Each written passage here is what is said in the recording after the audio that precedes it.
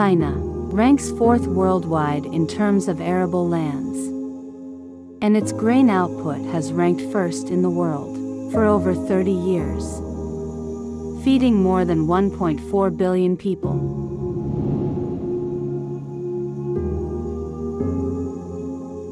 How does China keep consistently enjoying good harvests?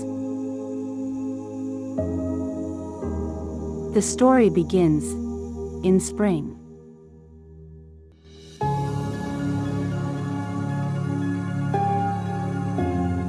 Weishan Irrigation District in Shandong. The third largest grain producing province in China. Has an agricultural irrigation area of over 3,600 square kilometers. More than the combined area of Los Angeles, New York, and Chicago.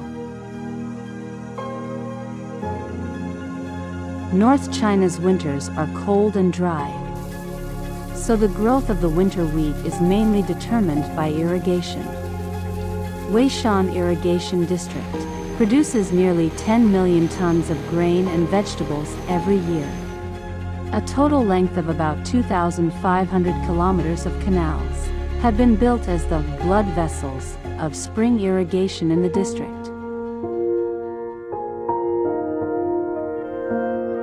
Satellite images monitoring the soil moisture show that in less than four weeks, the entire area is almost entirely covered in blue, indicating high humidity and the completion of spring irrigation. Canals, farmlands, villages, and photovoltaic panels form the landscape of China's modern agriculture. Precise watering is an important measure in China's agricultural production. In 2021, the irrigated area of China's arable lands reached 1.037 billion mu accounting for 54% of the country's total arable lands. Unlike grains in Shandong, which can be harvested twice a year, there is only one crop of harvest in Heilongjiang, China's largest grain-producing province. So spring sowing is treated as a crucial battle across the region.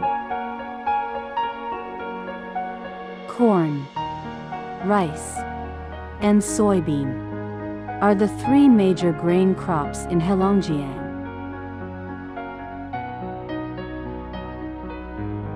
Various crops differ in how they reflect the sunlight and their contents of chlorophyll. So they are given divergent colors on the satellite spectrum map.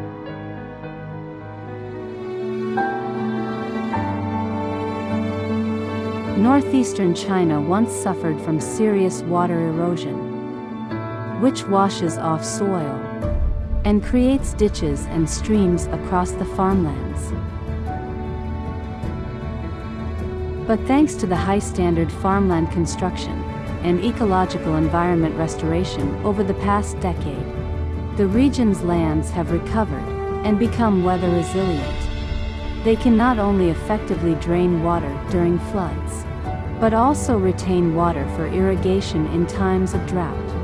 Satellite remote sensing and other technologies are also used to monitor insect pests and crop diseases.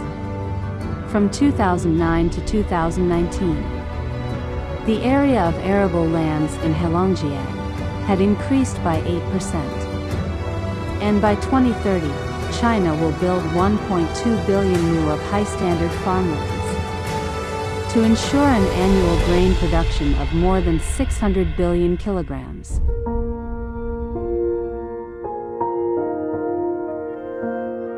Traditionally, the summer harvest spans from May to late June in China every year.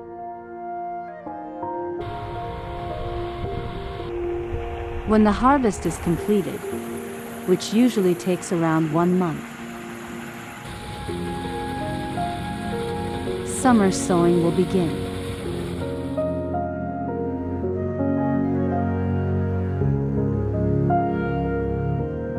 Located on the vast Huanghuai Plains, Henan and Anhui are respectively the second and fourth largest grain producing provinces in China.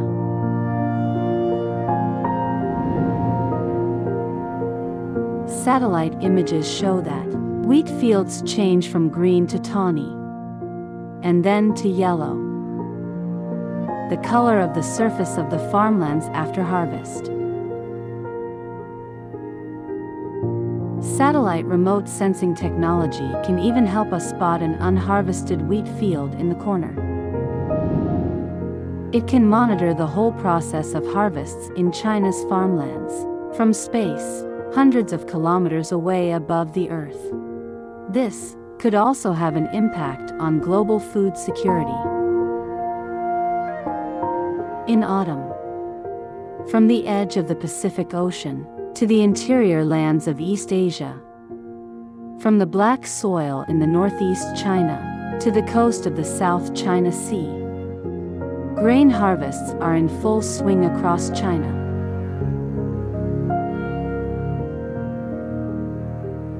One month after the harvest, the farmlands in Heilongjiang will be nourished by snowfall and be ready for a new round of farming next spring.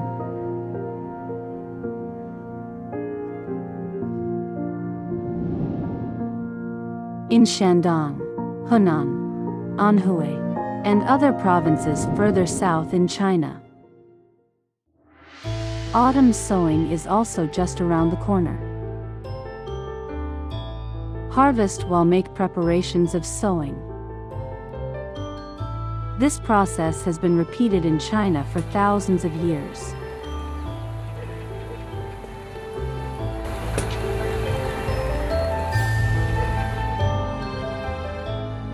Today, relying on modern technologies, scientific management, high priority, and huge investment in grain production from the government, China's grain output has seen a stable growth.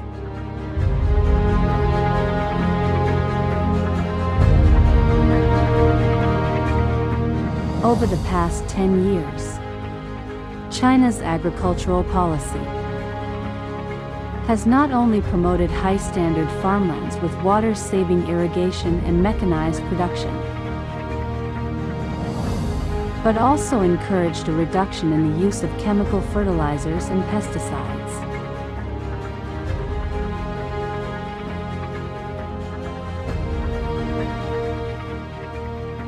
harmonizing farming with nature.